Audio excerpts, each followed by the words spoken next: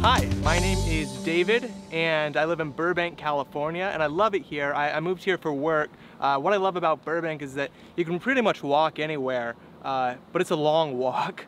Um, so I wanted something that I could kind of move around in without a car, without having to pay gas. And I was riding those uh, rental scooters for a long time. And I finally decided, look, I don't want to have to go try to find a scooter in the middle of the street that somebody else has left. I'm just gonna buy my own. I, uh, I like going into trails, going to hiking areas. I like mountains, I like parks, I like the beach.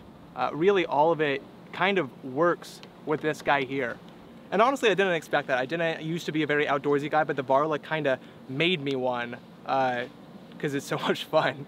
And I like motorcycles and those types of things, but they're kind of dangerous where I live. And I'd rather just kind of stay on the city streets, uh, keep a relative safety about me, but also have a lot of speed. We can go up to 40 miles per hour in this guy, which is pretty crazy, if you ask me, on a scooter. There's a couple different modes that I really appreciate. There's the eco mode, which is great for just city streets. Uh, I can save some of the battery. I don't need to go super fast, especially if I'm not going with traffic.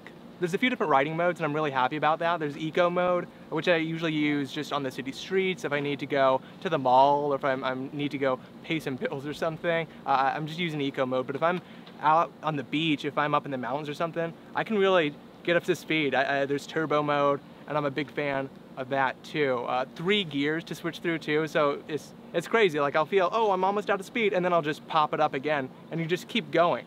There's also two motors, a single and dual motor, which is great for off-roading. There's also dual braking, which is great for quick braking and trying not to flip over the front.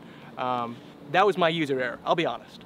And it's not just me, I can bring my wife on here too. She loves it. She just gets to stand behind me and enjoy the views while I uh, take care of the road work, as they say. If I was shopping for a scooter again, I would pick this one. Again, I got it for the streets, but I'm really happy that I can, I can take it anywhere with me. So it, it met my expectations, but it also exceeded my expectations. It made me uh, a real sucker for wildlife, and I, I couldn't be happier with my investment.